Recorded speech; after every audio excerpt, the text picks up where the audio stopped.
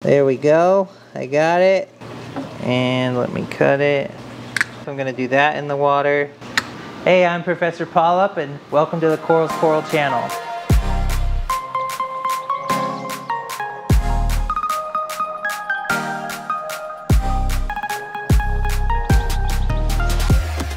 Hey everybody, this is Professor Polyp and today we're to learn about fragging zoanthids.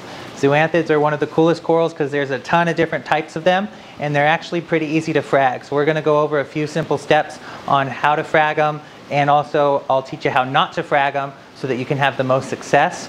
And today, one of the polyps we're going to frag is a stratosphere zoa. Those are probably the most expensive polyp um, available right now and uh, they're really pretty and really cool so it's going to be a fun uh, fun time fragging them.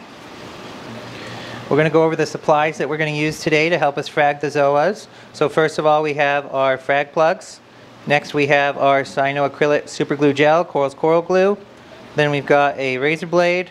We have bone cutters. We have our wet band saw that I'm actually probably not going to use today. Um, however, it can be a good tool if the rock is really hard to break or as a last resort. And then I have this little reservoir of salt water that I'll explain what this is used for in a minute. All right, I just grabbed the coral out of the tank and I put it in our little cup down here.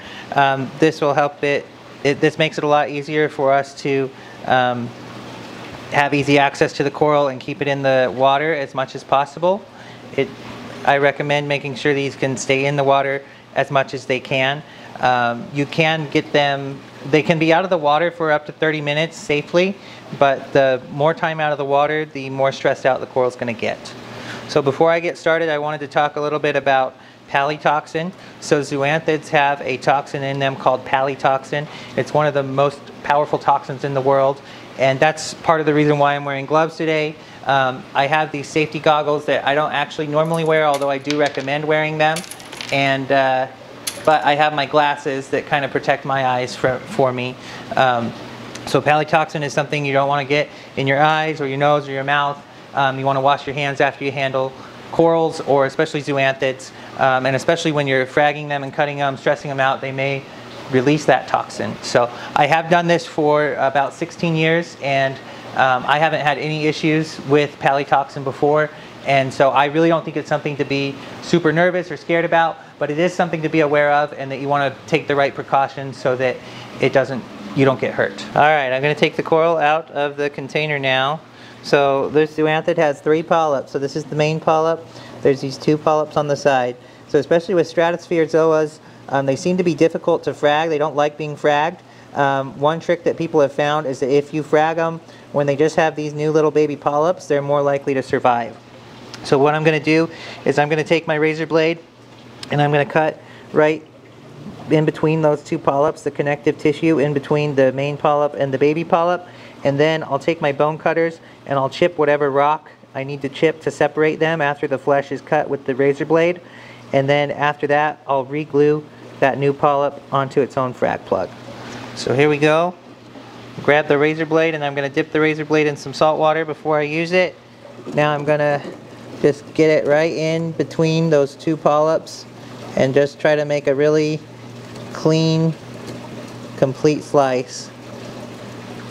And this one actually I think I felt that it just kind of separated on its own. So I may not even need my bone cutters on this one. I just need to I'm going to use the back end of my razor blade now to try to separate these a little more. And then I didn't get the flesh cut all the way. So ideally, you try to get the flesh cut all the way the first time so you don't make too many incisions. But there we go. I got it. There was no need for bone cutters because it's just on this little piece of rock. So now I'm going to take this zoanthid and I'm going to get it on the frag plug I usually pre-prep my frag plugs with glue, but I didn't this time, so I'm just going to put a good dab of glue on here. And then I can put the zoanthid on there.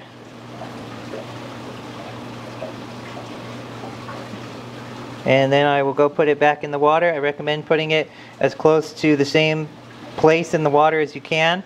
Um, also, if you're fragging multiple polyps at once, you can put it in your little container so that you can uh, keep that guy in the water. And then I would also recommend putting the mother colony back in there in the water if you're not working with it. And then uh, those guys can stay happy until you're ready to put them back in the tank. We're going to grab this other zoanthid frag out of the water. Um, I like to try to make sure they can close. So sometimes I'll kind of shake them in the water or I'll just bring them in and out of the water a little bit. Um, that will help you work with them a little easier and it will protect the polyps from getting bruises, getting bruises on them um, during fragging. Sometimes they don't frag all the way, so you just do the best you or they don't close up all the way, and so you just do kind of the best you can. But these guys are looking decent now. They're not all the way closed, but that's easy enough to work with. So I'm going to show you guys um, how to do it with the razor blade and the bone cutters on this frag. This is an utter chaos frag is what these zoanthids are called. They're a really beautiful classic zoa.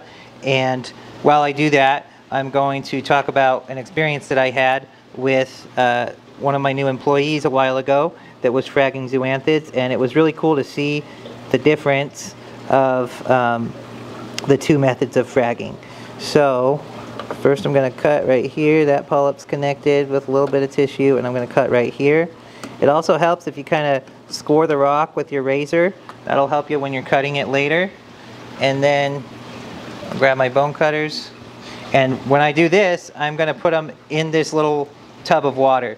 Uh, a couple reasons for that. Firstly, I um, have had times that I cut this out of the water, and if you're cutting a little tiny piece off, there's a lot of pressure, and that will sometimes make that little rock fly and that is not good because um, you'll lose it. And uh, I've done that with some pretty expensive polyps before and it is not fun. I was on the floor combing through my carpet trying to find um, the polyp and there was times I never found it. And so I'm just going to grab the uh, rock with my bone cutters where I want to cut it and then I'll put them in the water and I will just put some pressure on to break it then I'll take them out and see how it broke. So that did a pretty good job at cutting almost both of those polyps off that I was wanting to cut. So I can do this little thing. I'm holding the rock with both pieces now so nothing can fly away. And let me cut it. There we go. And I'm going to cut that those two in half. I'm going to do that in the water.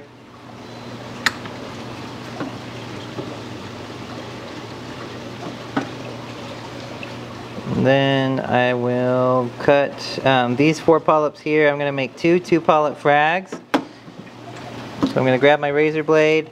I use the back of the razor to kind of move the polyps around so that I can see where they're connected and where's the best place to cut. So for these guys, I'm actually going to cut these right here. And then these two are actually kind of on their own right there, so I don't actually have to cut those. So now I'll take my bone cutters again and just place them right there and snip. And that actually went perfectly. So I'm going to have this as my mother colony to grow back out again. I'll glue that onto a big frag disc.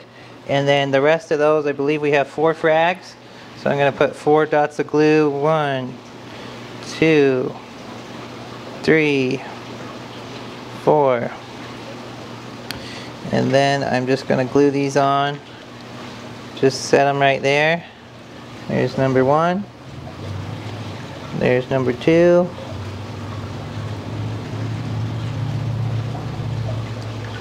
There's number three.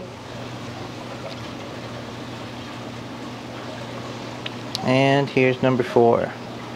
So now I'm going to take those, I'm going to put them in between my fingers so that I can carry all four of them at once and then we're going to put them back in the tank that they were in and get them used to let them heal. But I wanted to show you guys um, the wrong way to frag zoanthids that a lot of people try to, to do and it's not actually a good way to do it. It results in a lot of um, loss and what people will do, so zoanthids are a soft coral so they don't have any skeleton, it's just the soft tissue that connects to the rock. So some people will take their razor blade and they'll try to scrape underneath that tissue and take the whole polyp off of the rock and then they'll glue that polyp down. And that, in my experience, is not a very good way to frag zoanthids. I just wanted to finish my story that I started earlier while I was fragging the zoas about my employee who was fragging them the wrong way and what happened with that. So I knew that she had some experience fragging before I hired her. So she came on and I just let her start doing her thing. And I realized after she started that she was fragging them the way that causes a lot more loss in zoas. And so what she was doing is she was scraping the bottom and taking the whole zoanthid off of the rock and then gluing that onto the frag plug. And so she had done that. There was a big zoa colony. She was fragging. She'd done that with quite a few of the frags. And then I noticed and I showed her the way to do it with a razor blade and with chipping a piece of the rock off. And then she started doing it that way. And it was really cool to see the difference because it was the same zoa colony, the same person fragging, the same everything. And all the only difference was that I taught her that technique. And she had like 10 frags that she made scraping them all the way off the rock and then gluing them. And then she had 10 frags that she made, chipping the little piece of rock and just cutting the connective tissue with a razor blade. And the ones that she chipped the little piece of rock that she did the right way was they started opening within about an hour and they, um, they all survived. They all did great and um, I could sell them the next day if I wanted to. The ones that she had scraped off completely and then glued, about half of them died over the next couple of days, and the rest of them that survived took about a week to heal and start opening up and looking okay. And it, I really wasn't comfortable selling those for another two or three weeks. Thank you everybody for watching. Make sure you give us a thumbs up and subscribe to our channel and let us know in the comments what video you'd like to see next.